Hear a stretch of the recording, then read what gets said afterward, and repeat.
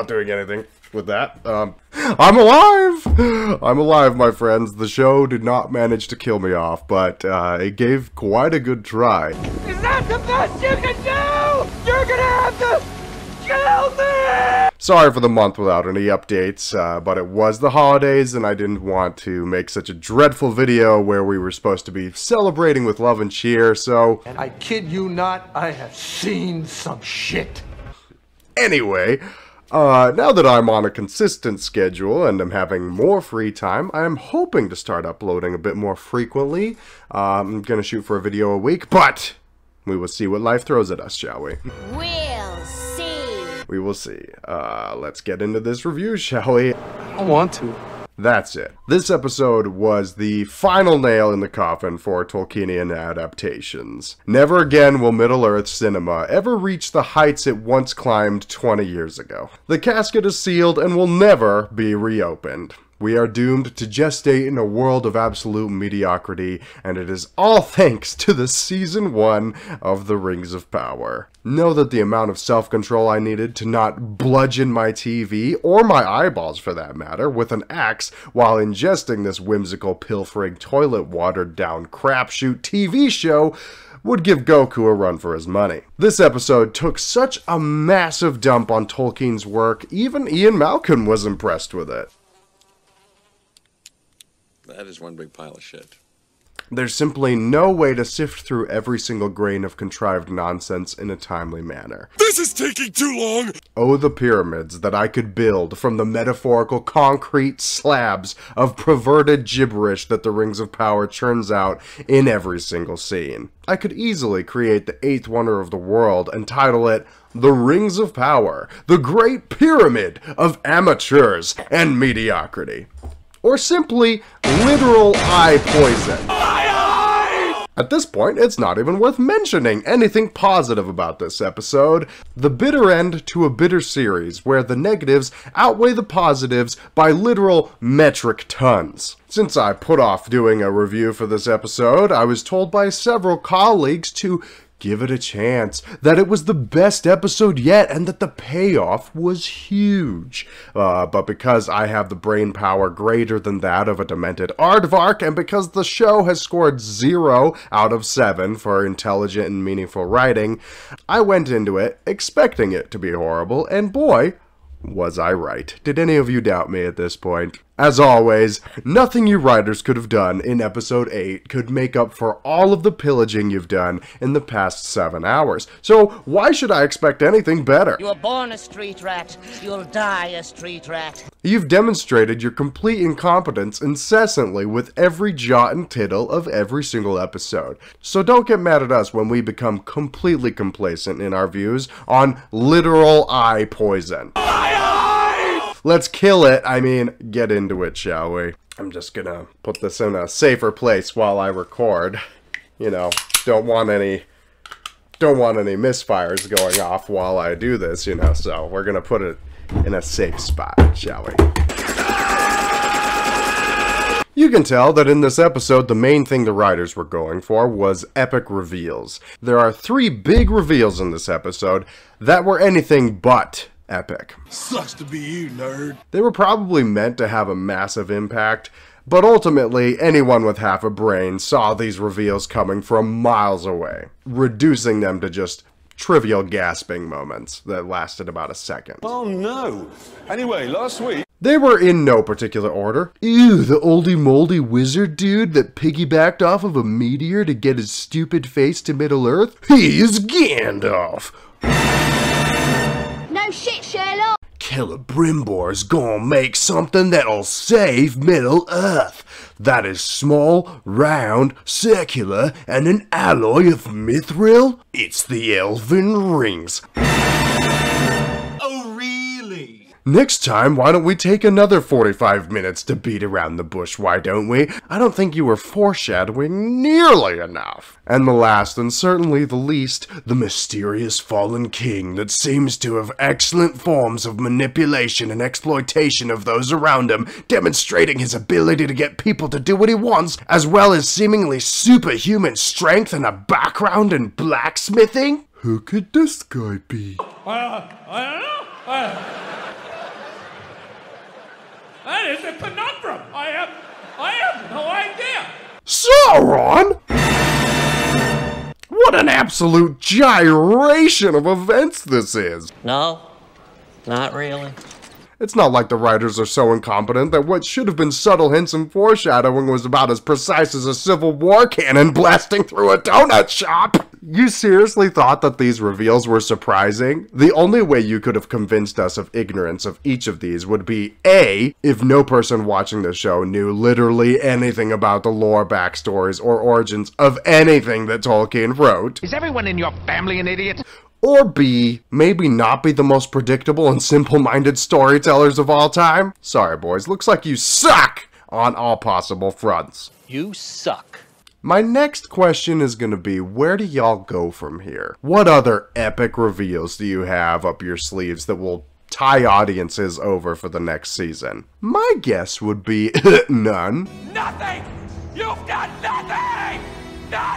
You are banking on the intrigue and mystery to keep your viewers watching. In fact, it could probably be argued that the unanswered questions and badly vague writing is the only thing that kept casual viewers around. People will still watch a show or a movie even if the first half of it is terrible, just to see how it ends. Intrigue can hold people's attention long after they've accepted that the acting is terrible, the action is cringe, and the story is nonsensical and it's completely unfaithful to its original work. Oh wait, you lost 20% of your viewers after just the first episode? That sucks. Looks like people still didn't care about your fake controversies and mysteries. Your viewers are going to have literally nothing tethering them to the next season. So again, I ask, where are you gonna go from here? Are you hoping to cash in on the adventures of fake Gandalf and discount Frodo? What are they gonna be even doing? Eating slugs and picking berries? Oh yeah, that sounds really great to watch. Gross. Speaking of not Gandalf, what is up with the latest trend of main characters saying the most cringy line before doing like a blast of magical stupid energy or like a stupid karate move? And I. Am Iron Man. And I'm all the Jedi. I'm good. Hmm.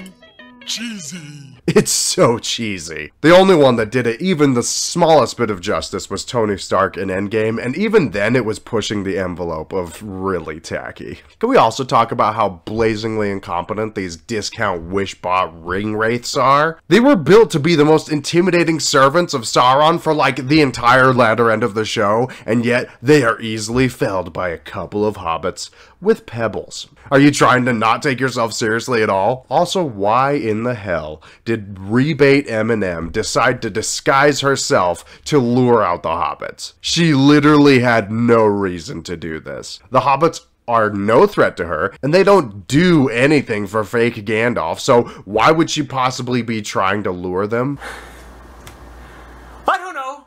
I don't know. This implies that she was just trying to get the hobbits to come to her so that she could kill them, but she's already blown up all of their carts and, like, left them stranded in desolation. It was literally for no reason than to give us this jump scare. And a really, really lame one at that. Here the writers go again, thinking that action and content makes up for garbage writing. Probably not. The only good thing that came out of this whole debacle was the death of one of the most psychotic, murderous Harfoot douchebags. Good riddance, you manslaughtering loon. I feel nothing but joy when your life essence rips from its vessel, you clodpole. You deserve every bit of it for teaching a sociopathic orthodox that is disguising itself as loving and endearing. Not to mention that if this dude is Gandalf, it just creates an entire myriad of problems. I love that word. Myriad. Myriad. It's pretty cool. The Istari, aka Wizards of Middle-earth, didn't come to Middle-earth from Valinor until the Third Age, you scurvy pipsqueaks. Yes, people have argued that it is somewhat unclear when the Istari came to Middle-earth because Tolkien has two separate accounts of the event,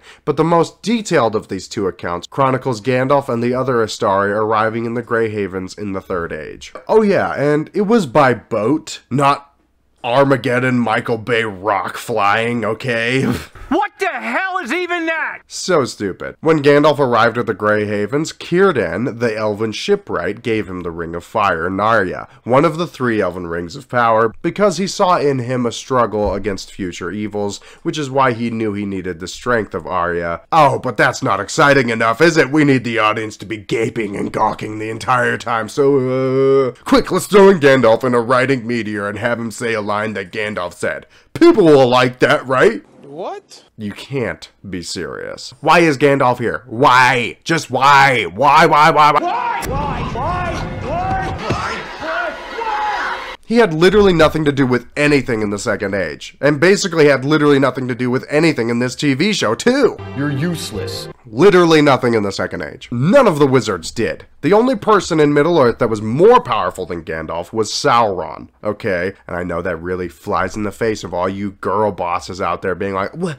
what about Galadriel? She's so much more powerful. Gandalf is like so freaking old. Like, older than Middle Earth, okay? He was there in Valinor before the elves were even created, okay? He is way more powerful than any other elf that has ever existed. Just go read the books, okay? Just Read a book once in your life. Gandalf was more powerful than Galadriel, he was more powerful than Elrond, he was more powerful than Gil-galad, he was obviously more powerful than a Balrog, all because he was a Maiar, basically a demigod of Middle-earth. So, if he's gonna be in Middle-earth when the Second Age is happening, then he better be in the Battle of the Last Alliance, otherwise his character of wanting to help the people of Middle-earth and fight against Sauron is completely ruined. Not to mention the fact that he was sent to Middle-earth to fight against the all-powerful Sauron, he even confided in the Valar that he was afraid of Sauron and wanted to stay in Valinor. So why are you anvil brains jumping the gun and sending him to Middle-earth before he even has a purpose there? Idiot. Oh, I know why. Because you thought, wouldn't it be cool if Gandalf was in our TV show? And for no other reason. That is what your entire writing model is based off of. The very J.J. Abrams approach of,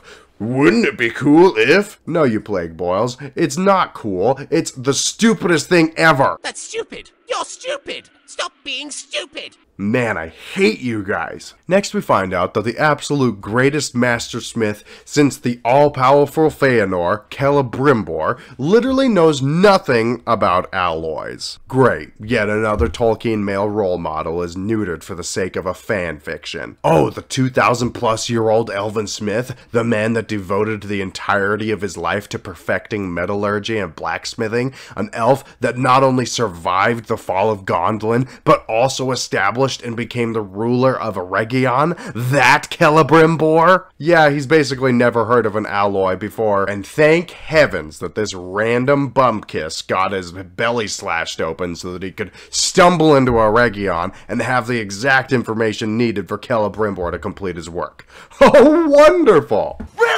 I'm so glad that these coincidences have coincided to give us the most perfect coincidence to ever coincidence. Now, there will be those that argue that Sauron did help Celebrimbor to forge the rings that would later be given to each race, so it makes sense he's helping him here. But guess what, jackweeds? Sauron taught Celebrimbor how to create rings of power specifically. Rings that had the ability to prolong the life of mortals or to increase the power that was already in an individual. He didn't show him the absolute basics of alloy making and jewelry smithing. Uh, duh! And not only that, but Sauron only had a direct impact on the making of the 16 other rings given to the dwarves and men. He didn't even know that the other three elven rings existed. All of this lore gets thrown to the wayside when we have this soy boy Sauron teaching Celebrimbor how to be even just an entry-level jewel smith, but also literally counsel him throughout the entire process and even handle the tools used to craft the rings. Stupid. Hey, but Elijah, he left before they made the rings. Shut up! Shut up, He was there when they literally described the object being a ring. He was the one that came up with the idea to forge them more gently, whatever that means. He was with Celebrimbor non-stop for like a whole friggin' week to forge them. He helped in literally every step of the way to make them. Okay, he knows about the rings at this point. Okay. Okay? The seemingly small plot hole blows an entire hole in the wall of lore. Sauron didn't know about the Elven Rings because Celebrimbor didn't trust him. That's why Celebrimbor made the three rings to counteract any power or influence that he thought the mysterious Annatar had put on the rings that he had made. He deliberately made them away from Sauron so that he would have no influence on them. As far as Sauron was concerned, these three elven rings didn't exist, but Tweedledumbo and Tweedle Retard have basically ensured that Sauron will know about them when Season 2 comes around. Good job. Even if by some miracle Sauron didn't pick up on the three rings being made, which is truly impossible at this point, he is still gonna come back to Eregion disguised as Annatar, so if he doesn't know about them now, he sure will then. The only way Annatar slash Sauron could be ignorant of the three elven rings down the road will be if he, one, avoids Gil-galad, Galadriel, and Elrond, and also literally of thousands of elves that helped in the smithing process process and also avoided literally everyone that was merely present in Eregion or who has even just seen three of the most famous elves in public. Well, good luck with that. They are out in the open now! He's gonna see the Elven Rings! And now that Sauron knows that they exist, there's no chance in hell that he would make a ring that has no sway over the most powerful elves in Middle-earth. He'd have to scrap his entire plan of making the One Ring. It's because Sauron doesn't know that the elves have three of their own rings of power that he makes the One Ring, thinking he will have total dominion over them. You have literally taken away your main protagonist's motivation to do the thing we all know he's going to do. So congratulations, bros. You have now painted yourself into a plot hole ridden corner that will only make the inconsistencies with the lore and the overall story that much more glaring and obvious. Just for the record, this is a very bad idea. Want to know how to spot a completely untalented writer? They make plot holes not only in their current story, but for future ones. You absolute bull-pizzled stockfish. Does it get stupider? Yup! You have no idea. You thought Galadriel was stupid for never comparing the mark of Sauron to a map for thousands of years? That is nothing compared to how brainless they make her out to be in this episode. Remember when Galadriel just assumed that this complete stranger was king of the Southlands for the sole reason that he was carrying a random butt medallion? Yeah, only after she finds out that he is a smithy does she realize, hmm, I've done zero background checks on this guy to see if he's legit. Maybe I ought to look into his backstory and make sure he didn't just find a random medallion so he could gain political power over a group of people. So what do you know? There is nothing linking good old Halbrand to the kings of the Southlands. So Galadriel confronts him about it, and it takes about 2.5 seconds for Halbrand to be like, whoops. Yeah, you got me. I'm Sauron and stuff. wow, so you're not even gonna try to convince her of something else? You've pulled the wool over her eyes for this long. Isn't it in your best interest to keep her in the dark about your true identity, considering she's been hunting you for the past millennia? Nah, might as well come clean. She's a bit doubtful of the lie that I've been telling her this whole time. Let's just rip the band-aid off. Are you retarded? Wow, talk about retarded. Sauron is supposed to be the master of disguise and beguile, and here he just gives up his biggest secret advantage after the smallest amount of pushback? I didn't think it was possible, but the writers made even the main protagonist completely incompetent. He literally made no effort to keep the advantage over her. He just decided to come clean immediately. In no world are these two Saurons even close to being the same. Remember the first time you saw Sauron in Fellowship of the Ring? Remember when he was so scary and intimidating it made you want to crawl under your bed and die? Oh, was that just me? Yeah, that was Sauron. That was power. That Sauron made your skin crawl. This guy? Nah, nah. He is not Sauron. Who do you think? He looks like he needs to be on the cover of a cologne commercial, not the Lord of Mordor. He looks like an edgy waiter that's been working at Texas Roadhouse for the past decade. Hashtag not my Sauron. How are we supposed to be afraid of this guy? He sucks on virtually every level. You suck, you jackass. Can't intimidate, can't coerce, can't lie, gets intimidated by a five foot nothing blonde bimbo. He sucks! Congrats, writers! Your main villain is a beta cuck soy boy that screams when Elf Girl won't sleep with him. Great, you're a soy boy beta cuck. Uh, what? Whatever. And with that transition, we get probably one of the most appalling breaks to the lore, if that's even possible. Once Not Sauron blows his cover, he then does an illusion to try gaining Galadriel's trust by disguising himself as her bro Finrod, which she sees through immediately because she's literally already established that he's Sauron, so how would she not see through this instantly? Again, Sauron sucks at the one thing he was profoundly good at in the books. Anyways, friggin' Discount Sauron sits there and tries to convince Bimbo Ladriel that the only way to save Middle-earth is to rule it. If that's not the dumbest pitch I've ever heard... You are so dumb. You are really dumb. For real. The only thing Middle-earth needs saving from is you, you retard. You're the only reason the so-called elves are dying from supposed darkness. So if you weren't there, then what would Middle-earth need saving from? Also, what is your goal in helping Celebrimbor make the rings? By your own storytelling, the rings are made for the sole purpose of dispelling the evil from the world. The evil that you are causing! So what, you're trying to thwart your own plans? Why? You are a stupid. Look at that. I just followed the writer's logic to its full conclusion, and guess what? It's retarded. Well, that's retarded. The writers have defended that their reason for making Galadriel tempted by Sauron by pointing out this line from the Fellowship of the Ring. Referring to Sauron, Galadriel says, I know his mind, and he gropes ever to know mine, but still the door is shut. The writers took that single line and thought, oh man, Galadriel and Sauron totally wanted to bang.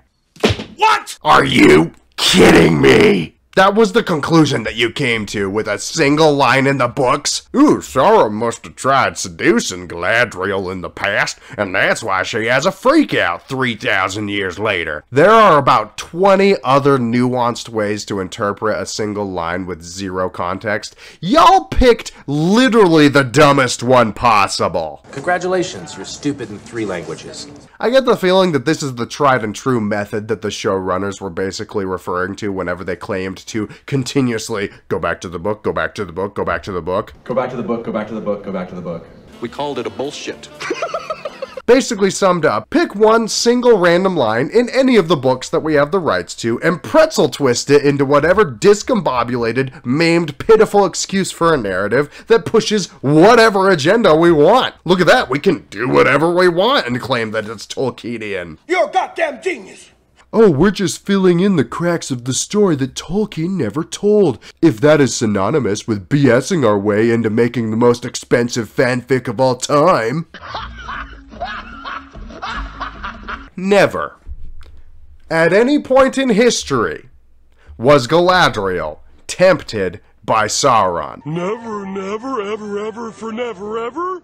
Never, ever, never, never, ever, ever, never. The line the showrunners were referring to was in the context of the fact that Galadriel is able to perceive the Dark Lord's mind because she has a ring of power. But he is not able to discern hers because her ring wasn't made by him. Yes, Galadriel was tempted by the power of the One Ring, but that's because Sauron designed it that way, to give whoever came in contact with it delusions of power and majesty so that he could eventually dominate their will. The One Ring magnifies the power of whoever wears it, so obviously Galadriel would have been tempted to take it. But newsflash, that's not the same thing as being smooth-talked into husbanding Sauron and ruling as his queen. Hey.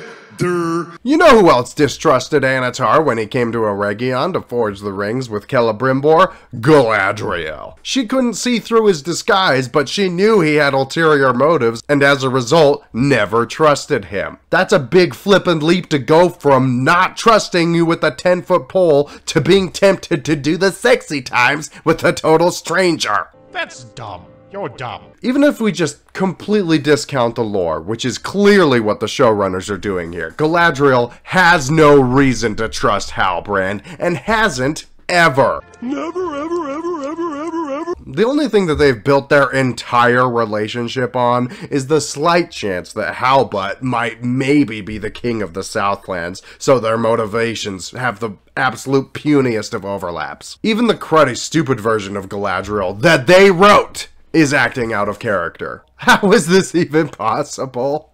The outright lack of writing experience is really showing through at this point, guys. It doesn't look good on you, but it does belong on you. Yeah, jackass. And the scene ends with Butthead Ladriel and Dumbo Sauron having a screaming fest at each other because that's how eternal, immortal, all-powerful beings handle themselves, like adults. Right? Shrieking at each other like toddlers until one of them breaks out in slaps, or in this case, stabbies. I will say I was happy to see Faux Ladriel almost drown to death again. Anytime I see one of these disgraces to Tolkien's work start to slowly die, it gives my stomach the butterflies. Then Butthead Ladriel wakes up to Sauron gone. What should she do? Well, I mean, this is the person that killed her brother, the one responsible for desecrating everything that she loved, the man she has been hunting for nigh on a millennia. Surely Galadriel gets on her horse and catapults her way into whatever direction he went. And after all, even if he left hours before she woke up, she should be able to catch up to him easily considering he's on foot, and she should definitely take all of her men with her and easily overpower him, destroying evil once and for all, right? Right? Right? She's just like, eh, I guess he's gone now. Nothing I can do about it. what? What? What? The only thing that Galadriel has been motivated to do for the past eight hours is kill Sauron. They've been drilling this into our head that she doesn't care about anyone else except for that guy I didn't care about anyone else but that guy. for eight hours. And the moment she has a chance to kill him, she just lets him go. She just lets him go. What was the freaking point? What's the f- purpose? You're a murderer! A mass murderer people's time! I get not killing Sauron off in the first season, because you'll obviously need him in your later seasons, if anyone's still watching at this point. Uh, probably not. But she doesn't even try to pursue him? What an absolute ungodly waste of my time. I've wasted my life! Eh, but Elijah, if she told everyone who Sauron was, then they wouldn't trust her anymore. Cause she trusted him, and he was a bad guy. Come here. Shut your stupid ass up. Literally everyone, and I mean everyone, has trusted Halbrand for the entire show. Nobody would get mad at her for trusting the person that was able to convince everyone to put their confidence in him. In fact, everyone would be undoubtedly furious that she knew who Sauron was and didn't chase him when she had every opportunity to. You moron. They'd be like, What the shit, Galadriel? You knew that this bitch was Sauron the whole time? Maybe, just maybe, you could have told us Halbrand was literally the most evil guy in Middle-earth, so we could have caught and killed him before he, oh, I don't know, corrupted the Numenorian people into trusting him, causing them to perform human sacrifices to Morgoth, convinced Ar-Pharazôn to literally invade Valinor, single-handedly caused the flooding of Numenor, built the fortress of Barad-dûr, forged an entire continent into his domain, gained the trust of the entire elven race, forged 16 rings of power, turning 9 kings of men into Nazgul slaves, destroyed Eregion and murdered Celebrimbor, hoisting his mutilated dead body onto a banner and displaying it all across Middle-earth? Do you think it would have been a good idea to tell us that, moron Ladriel, so that we could have literally saved millions of lives? No? Alright, somebody shoot her. Please, please, please. Somebody, somebody shoot her. Now Galadriel is responsible for every single person that Sauron kills and every single travesty he incurs. She's the new Obi-Wan Kenobi, deciding to spare the main antagonist of the show that will go on to kill millions when they have every right and the means to kill them and absolutely no reason not to. Wonderful. Just wonderful. That is not great. Don't worry, I could riff about this episode for another hour if I wanted to, and normally I would end the video right here. But you've already been watching for the past 20 minutes, so let's keep going, shall we? Plus, we are nowhere even near the amount of contrivances and absolute bounds in logic that this show takes. Hold on to your butts. I've just pointed out the three biggest ones. There are quite a few more, and all they do is leave massive open-ended questions in every single scene. Questions like, Seriously, who in the hell are those stupid priest ladies? Like, seriously, who the hell are they? And why did they even exist in this story? They literally accomplished nothing for the entirety of their screen time. You could completely take them out of the narrative and nothing would have changed, except for the death of a genocidal hobbit, which is only good for everybody. Speaking of which, why did none of the hobbits do anything to save Sadoc's life? I mean, I want him dead just as much as any rational person,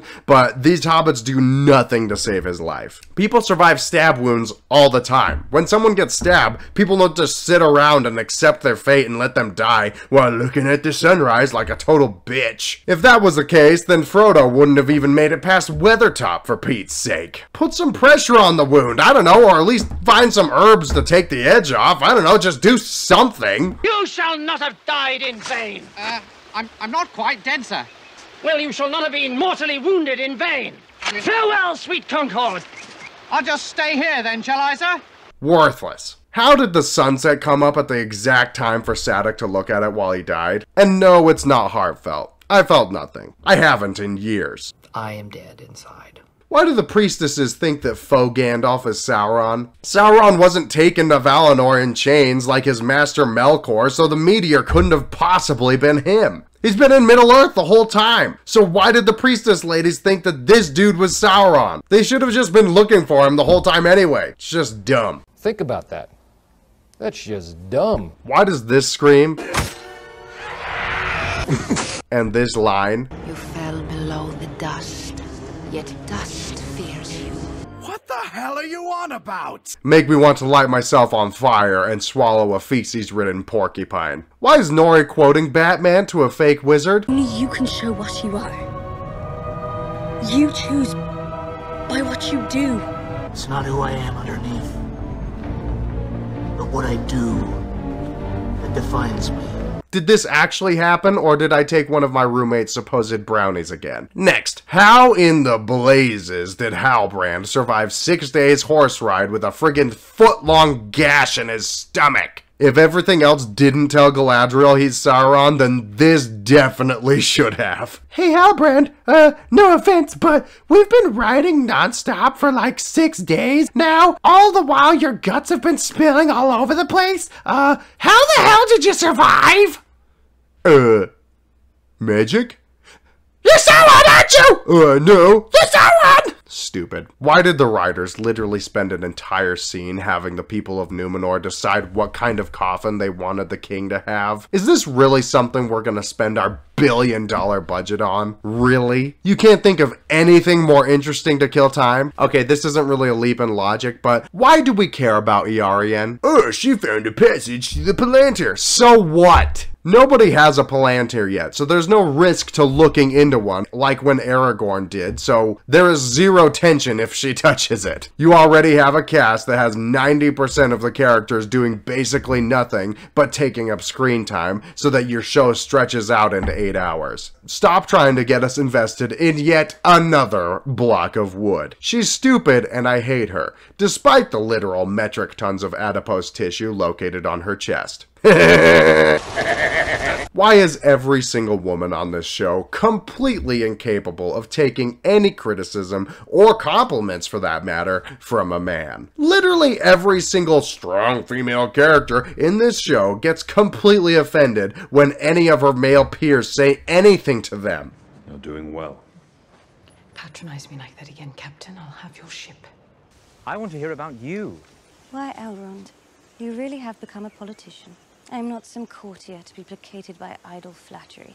This is not how you write a character that's likable, buttheads. It doesn't make you strong if you're just an asshole to literally everybody. You think anyone would like Aragorn if he reprimanded anyone that talked to him? No! Assholery does not equal strong and cool and respectable. It just equals assholery. I knew it. I'm surrounded by assholes. This is not a hard concept, but somehow it got past an entire board of writers. Why do I feel like the more I write about these plot holes and contrivances that my risk for cancer goes up? Why does Elendil never say the reason that he took Galadriel on his ship? He asks Miriel if she knows why, and then he never goes on to explaining it. He just like talks about his name and then talks about all the things that he could have done rather than uh, take her on his ship, but he never says why he actually took her on his ship. Why, writers, does your dialogue continue to just fold on itself? When you ask a question, we expect an answer, dickhead. Why do we spend so much time quibbling about what to make the Mithril into? One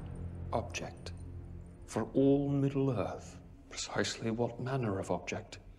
It would be smaller than previously imagined, something that could be carried. A circular form will be ideal, allowing the light to arc back upon itself in one unbroken round. Stop beating around the bush! A ring! You're gonna make it ring! There it is, I said it! Can you please freaking move on? This is taking too long!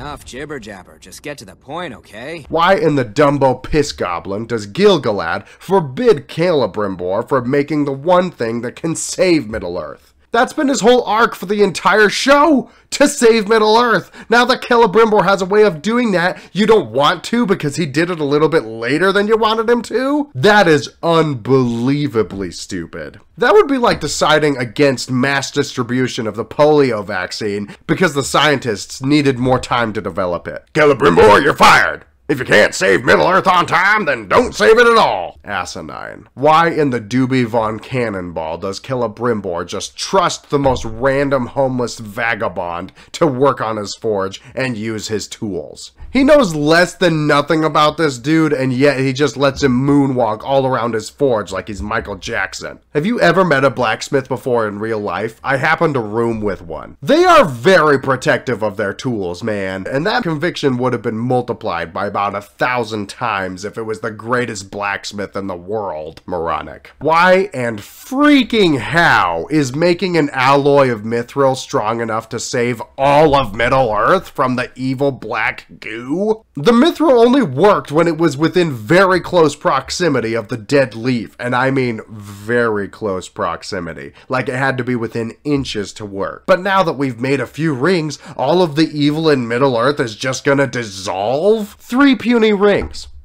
All of Middle Earth. All three million square miles of it. Really? If I whisper to somebody from a few feet away, should I be concerned that some dildo is gonna hear it from a thousand miles away? Cause it's about the exact same equivalent, you spoiled lentils. Whatever. Your own logic is dying from absurdity, kind of like your fans' minuscule amount of respect for your credibility. Why does this white liquid keep coming out of my ear the more I watch this show? I'm kind of concerned. I probably need to see a doctor at this point. Why is the only straight white male that is even the smallest bit competent also the most evil guy in Middle Earth? Are y'all trying to say something? It feels like you're trying to say something. Why is Galadriel involved in literally every single significant event in the show? Is she the Forrest Gump of Middle Earth? Eh, we need to make this ring to save the world, yo. I know, make it into three rings. Uh, we need really pure gold to make them and stuff. Uh, here's my dagger. Uh, none of our Numenorians know how to fight. Uh, Galadriel, teach us. And on and on and on. Nothing actually happens in Middle Earth without Galadriel putting her fat nose in it, didn't you know? It's actually quite remarkable. Fascinating.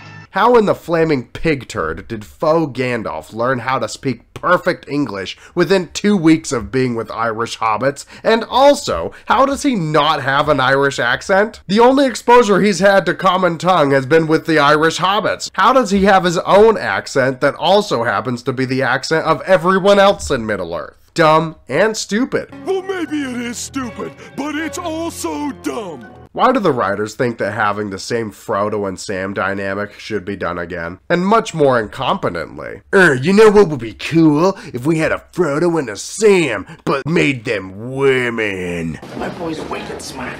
Nobody cares. At all. Like, at all. Why did they take like 10 minutes of this episode to say goodbye to not Frodo? It took so long that I was praying for a meteor to hit my house directly for like a solid five minutes or so. I'm still waiting on that to happen. Why do the Elven rings look like shit compared to the Jackson series rings when this show literally had more than three times the budget? Seriously, they look like someone just took an uncut diamond and slapped it onto a piece of gold paint plastic. Well done, Celedumbor, you suck at what you're supposedly famous for. And lastly, why do the writers think that anyone is going to be invested in season 2, and therefore bother to make meaningless clips cliffhangers. I'm more invested in the shape of my cat's turds after I change up his diet than I am in this pish. Nobody cares!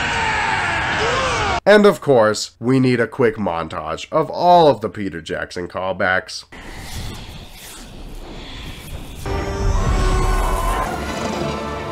Place of a dark lord, you would have a queen!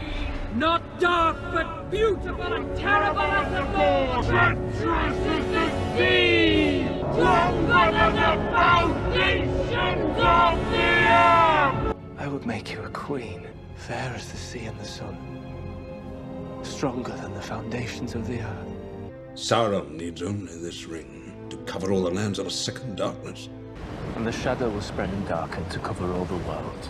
If you doubt, Enoch, always follow your nose. When in doubt, always follow your nose. Jealousy is all this is, my friends.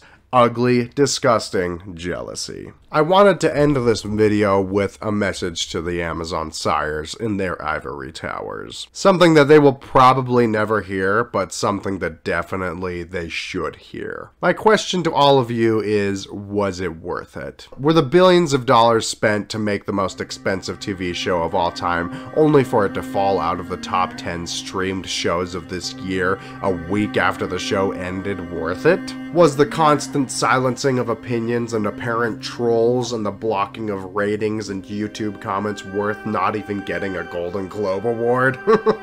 That's gotta hurt. Was the firing of actual Tolkien lovers and replacing them with woke shills who hated everything Tolkien stood for Worth the complete drop off of viewers after every single episode of streaming your show? Was the $250 million buy of the rights in order to purchase the love and devotion of an existing fan base worth the absolutely devastating blowback from fans and Tolkien purists all across the world because they recognized that this was the most expensive cash grab on the planet with no actual love for the writings of the one of the greatest authors of all time? Was it worth the turning the small group of people that maybe did support this suicidal deal against you by saying that anyone who criticized your work was racist, sexist bigots? Was it worth it putting on this clever veneer of love for the source material in order to backpedal and gaslight the viewers into believing that your desecration of a great story really was faithful to the original source? Especially when that just simply made people even more angry regarding you as liars in order to try and stand up to the giants like Peter Jackson and Tom Shippey, who had an actual love and respect for the Tolkien works? Was all of this fighting to stay relevant and bad mouthing the haters worth the eventual fade into obscurity worth it? Was your destruction of an epic work worth making people nostalgic for the abysmal Hobbit movies worth it? Oh man! I bet it wasn't. You know what you writers could have done to actually maybe save this grotesque work of yours? Take a hard look in the mirror and realize that the hate you are getting from the fans come from a place of passion and not toxicity or racism or sexism. When it comes to fans, it is a fan's right to have whatever opinion they want to have. And people are going to be upset because you're never going to be the exact person who they had in their head or who they played on Witcher 3, for example. I don't necessarily consider that toxic. I just consider that passionate. You could have listened to all of the very well found criticism and started to take a step in the right direction and actually follow the blueprints of the Second Age that Tolkien himself laid out. You decided to mess with something that has become ever so sacred to millions of fantasy lovers. You tried to win them over with flashy lights and gorgeous set designs and massive budgets and endless callbacks when all you needed to do was be faithful to the source material. There's a reason that I reread the amazing works of Tolkien this year for the fifth time in a row, and there's a reason that people continuously return to Middle-earth over and over and over again on a daily basis. There's a reason that I bought yet another copy of The Lord of the Rings, but there because it was a special edition and it has the cool writing on it and stuff. There's a reason I spent $70 on a book that I already have six copies of. There's a reason that Peter Jackson's movies did so well and are regarded with love and respect by even some of the harshest of Tolkien purists and scholars. There's a reason that J.R.R. Tolkien is a household name and is regarded as the father of modern day fantasy and has been before any media has come out adapting any of his work. There's a reason that people have spent their entire lives trying to peer into the genius and well of knowledge that came from one man. It is J.R.R. Tolkien. It is his world. It's nobody else but him. It's a fantasy world that we all grew up with. It's something that has been a rock in our lives and has taught us to harness our creative outlets into making something extraordinary. No matter how much we delved and absorbed of Tolkien's work, there's always something new to discover and something beautiful to cherish. Our love and devotion can't be bought it's earned. You want Tolkien enthusiasts to love you and to fund every single decision you make with their own money in gigantic amounts of support? Follow Tolkien. Idolize his writing. Make his messages and his ideals and his spirit the only sole motivation you have for bringing this work to the big screen. Show that you really are passionate about making a faithful and beautiful adaptation, that your impulses are genuine, and that you are powered by a love for Middle-earth and nothing else. Show that every single resolution you conclude with is purely inspired by Tolkien and not any political agendas or popular activisms or fundamentally race-based ideologies or disingenuous diversity and inclusivity. Stick to Tolkien. If you do this, I promise you, you will never ask for another penny. If you do this, I promise you that you will be looked upon as giants and architects and heroes to all of the Middle-earth fandom. I promise you that your show would become the most successful TV show of all time you would be raking in the money and the notoriety. You will be championed as geniuses and pioneers and visionaries that brought the world into a whole new fantasy cinematic experience. You will have all of the respect and praise that you want so badly. It really is that simple. Adapt Tolkien's work faithfully, make metric tons of cash. Want to see what I'm talking about? Do you not believe me? Lord of the Rings, Fellowship of the Ring. In 2001, it made $891,216,824. Number 2. Lord of the Rings, Two Towers, 2002. $919,148,764. Lord of the Rings, The Return of the King, 2003. One billion one hundred and twenty million two hundred and ten thousand eight hundred and ninety-six dollars. Collectively, Jackson's first trilogy that was so incredibly faithful to the works made a total of two billion nine hundred and thirty million five hundred and seventy-six thousand four hundred and eighty four dollars. Holy crap! Holy crap! Holy crap! That is just short of three billion dollars. That's your whole budget times three. And that was back in 2001, more than 20 years ago. You want to know how much that money would be now, adjusted for inflation? That money today would be worth four billion nine hundred and twenty-six million three hundred ninety-six thousand seven hundred dollars and thirty-three cents.